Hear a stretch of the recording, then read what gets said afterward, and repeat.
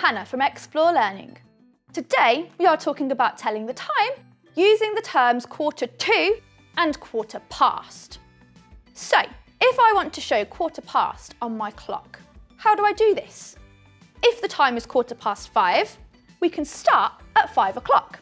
So we can see my minute hand is at the 12 and my hour hand is at the five.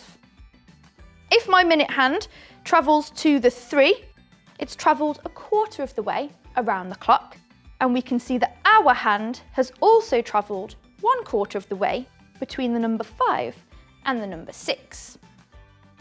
One quarter is one of four parts of my clock and my clock shows all the minutes in one hour.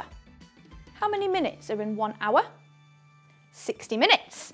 And one quarter of 60 minutes, 60 divided by four, is 15 minutes, which means that quarter past five is also 15 minutes past five, otherwise known as 5.15.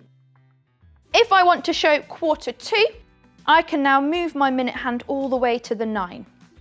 This is three quarters of the way around my clock, 45 minutes past five or 5.45. Again, my hour hand has also moved three quarters of the way between the number five and the number six. My top tip is to check the minute hand first. So if my minute hand is at the number three, that means we are quarter past an hour. So we can see here we are quarter past seven.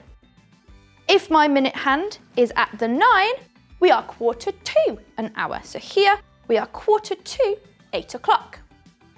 Look out for time during your day. See if you can spot quarter past or quarter to.